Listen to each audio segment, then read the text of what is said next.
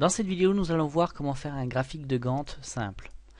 Ici, on va lister les activités sur la colonne B allant de B4 à B11. Ici, on peut mettre soit les mois, soit les semaines, soit les jours. Donc ici, je vais mettre par exemple les jours, mais on pourrait faire les 52 semaines de l'année.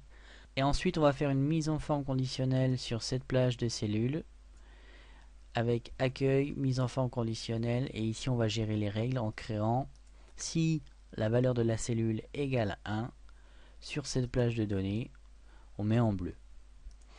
Donc ici on applique une mise en forme conditionnelle uniquement aux cellules qui contiennent la valeur 1 si par exemple vous voulez faire un autre exemple avec euh, la maladie en mettant par exemple M ou les congés payés en mettant CP vous pouvez faire suivant le même principe avec une couleur différente vous irez choisir dans le remplissage ici.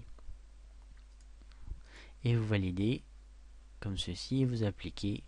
Ainsi, lorsque vous, pour votre activité 6, vous mettez 1, vous pouvez obtenir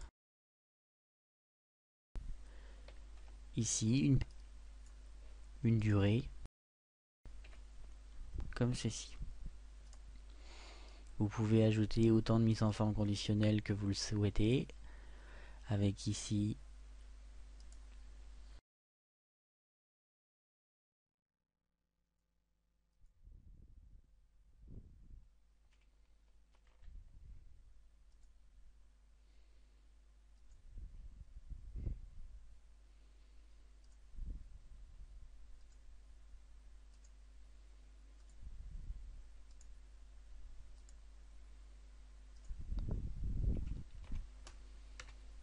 comme ceci.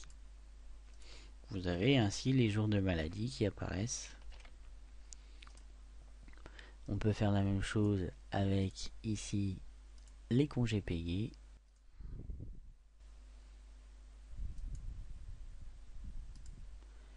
Par exemple, là, on va prendre du texte spécifique, on va marquer CP et pendant sur ces CP, on va mettre un remplissage par exemple en orange et une police en automatique comme ceci et je valide par OK. Ainsi, j'ai ici mes CP qui vont apparaître. Ce qui me permet de commencer à faire une ébauche de, diagramme de Gantt avec ici mes activités et ma durée sur l'axe ici. Je vous remercie pour votre attention et à très bientôt.